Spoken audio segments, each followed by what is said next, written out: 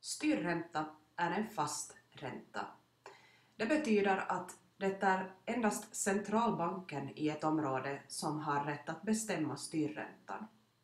För Finlands del betyder det ECB, alltså Europeiska centralbanken. Alla länder som hör till euroområdet har euro, lyder under ECB. Sverige har sin egen centralbank, Riksbanken.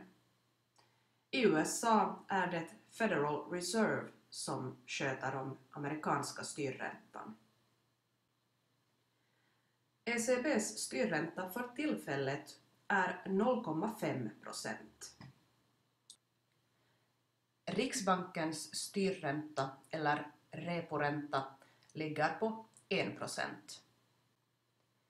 Federal Reserve har en styrränta på mellan 0 procent och 0,25 procent.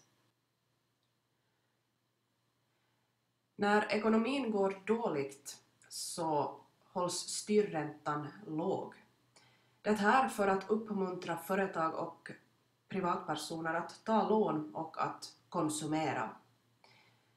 När ekonomin går bra så då höjer man styrräntan för att minska låntagningen och minska konsumtionen, för att minska riskerna för en eventuell överproduktion.